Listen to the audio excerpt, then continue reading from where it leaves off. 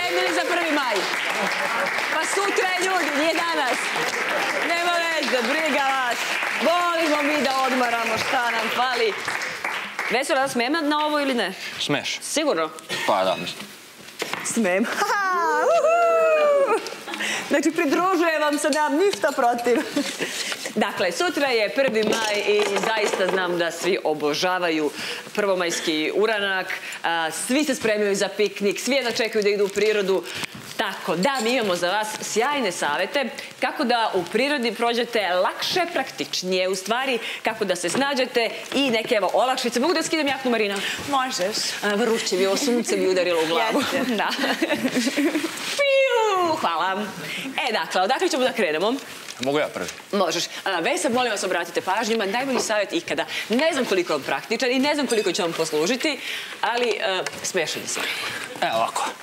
Svi imamo neku staru, ovako ovu sklopivu, rasklopivu stolicu. E, mogu ja prvo da objasnim kako se pravi, pa da na kraju vidio čemu se radi. Prvo, šta praviš? E, dobro.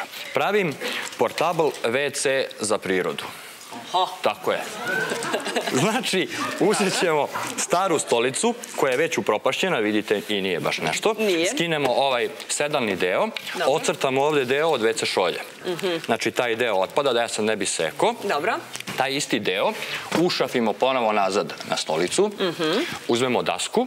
Dobro. Ušafimo je ovdje. Misliš dasku, znači, WC dasku? Da, da, tako je, WC dasku. Mhm. Spojimo je ovdje za stolicu sad ću ovo skloniti. Dobro. Kada sve to odradimo, dobijemo ovako, sklopiju. Znači u gepe kod automobila. Vidite. Ali, naravno... Što mi samo zanima, kako si isto ovdje zašati? Ovo, tu si za ovo. Da, da, da.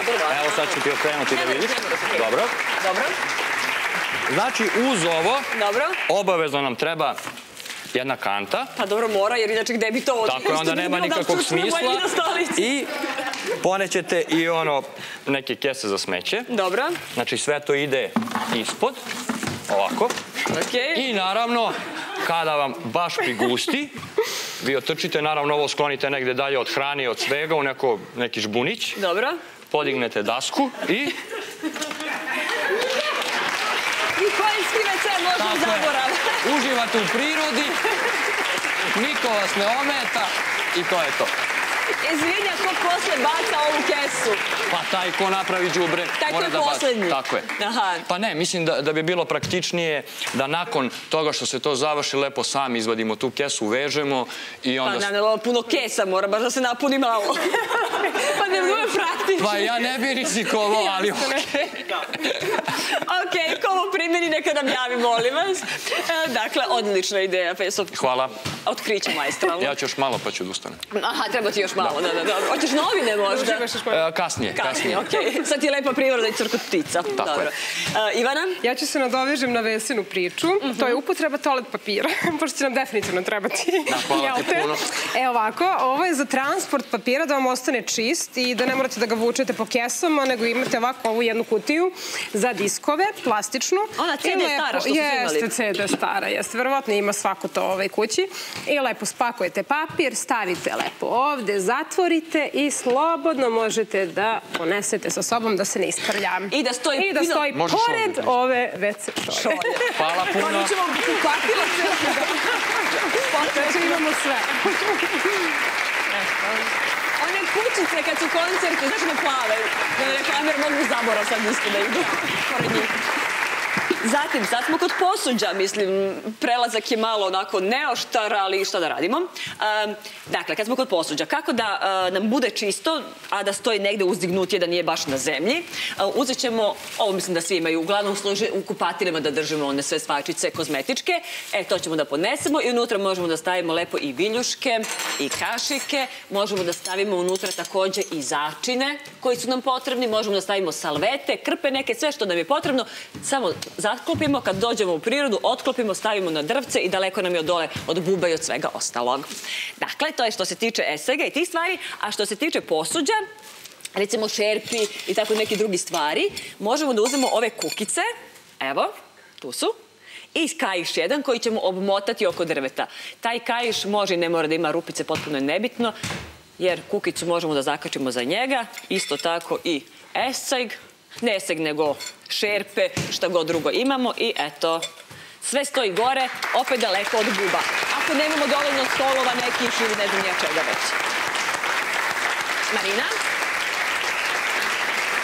Smo u prirodi, moramo opet da operemo zube. E, da ne bismo nosili ovu cijelu pastu za zube, dan ranije možete da istisnete e, na nekom e, papirnom tanjiru po malo paste i preko stavite sodu bikarbonu i to ostavite preko noći da se osuši. Kad se osuši, onda skinemo te, ne znam da li je ovo nešto specijalno. E, super, da. Skinemo, spakujemo u jednu kesu i imamo pastu za jednokratnu upotrebu. Hoćeš reći, svaka ova jedna mala ova gromuljica je za jedno pranje? Da, jeste. I onda svakom damo jednu tu i gotovo? I gotovo, da. Nema. O, dobro, može. Jeste, taktično je. Ne znam koja je razlika kod nosimo pastu i ovo, ali... Pa dobro, a znaš da kažu i da ne trebaju da se pasta meša? Mislim, svako treba da ima svoju, tako da po pravilu, da, iz higijenskih razloga bolje je ova. Dobro, ako perete zube u prirodi, ponesite zube. E sad, sapun, ovo mi baš praktično. Da, a ako perete ruke u prirodi, a to vam svakako treba, ovaj, možete sapun da iseckate na tanke šnite.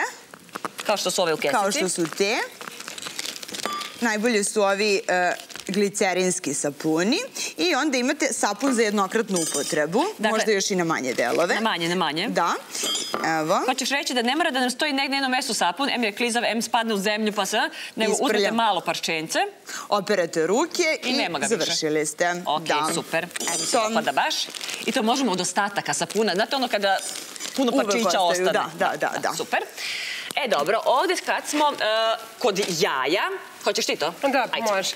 Ove, ako vam budu trebala jaja, ove, ovo je odličan savjet za transport jaja da vam se ne polupaju jaje. Znači, to je tako lepo, polemite jaja, smućkate u jednu plastičnu čašu, flašu, zatvorite i ponesete. I nemojte uopšte da razmišljate da li će da vam se u transportu polome. Polome. Kao što se obično desi uvek sa jajima. Pa jes. Da, ovo je baš dobro. Samo stavite u torbu. Samo frižider, da. Imate oni ručni frižiderčić, pa ovaj, zajedno sa pićem i ovaj, vodom lepo stavite i ne razmišljate. E sad kad smo već kod lupanja i mhm. flaše mogu lako da se polupaju, naročito ako su od e, vina, piva ili tako tih nekih... Što nosimo, jel? Što nosimo, da, e, na kampovanje. Možete da iskoristite jednu maramu. E, najbolje je da je četvrtasta. Može čak da bude i neki komad materijala, ne mora da bude marama, šta god imate. Stavite dve flaše na sredinu. Dobro. Preklopite maramu. Ovako.